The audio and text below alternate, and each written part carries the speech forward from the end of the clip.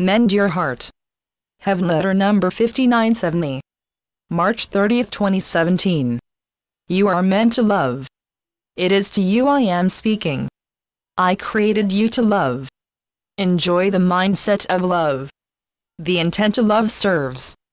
How can it be that one of the biggest blocks you have on earth is to feel love and to give it? You find so many reasons to not love. Not loving your fellow man seems a whole lot easier than loving. What are these impossible obstacles to repress full love from your heart that you build up, and so keep your love in reserve? Must you? What can be so urgent about not loving? How about setting unlovingness aside and never become acquainted with it again? What do you possibly need unlovingness for? It's a poor excuse. It may be you look for reasons not to love. One of these reasons may well be that your heart has been hurt. You know, dear ones, when someone offends you, all the more reason for you to open your heart. Open your eyes, and open your heart. When you feel offended, you are the holder of offense. In the long run, offense is not a good reason to forego love to and from your heart. Think of it, you have a heart.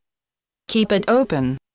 Sometimes an offense may be that you simply can't tolerate someone. This can be considered your offense. You can stand the sound of someone's voice. The offense is the sound of his voice, or it is that he talks too much, and you don't want to listen, or you find the person glum, and you don't want to catch it. You can reflect love with someone while you are free. You don't have to sit and subject yourself to someone eternally.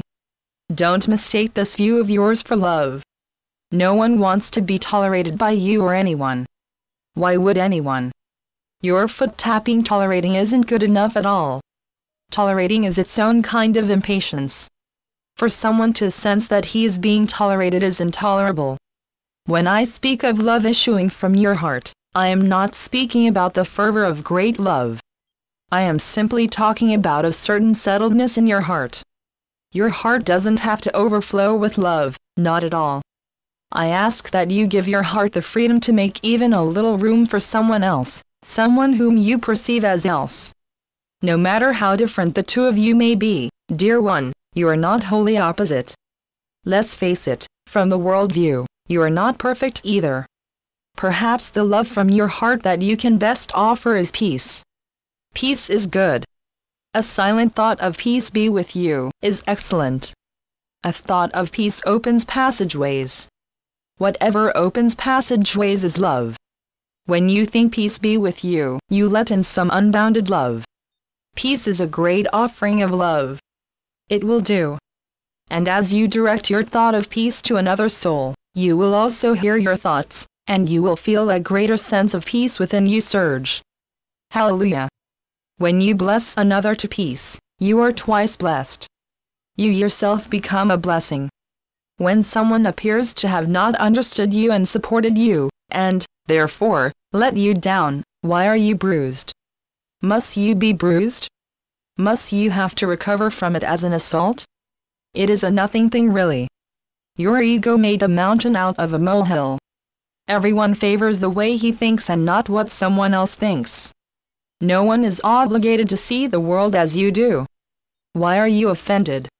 This sounds like your offense, beloveds. Is it too much to ask that you stay on an even keel? Mend your heart, the heart that you consider yours to withhold. Channeled by Gloria Wendroff. HeavenLetters.org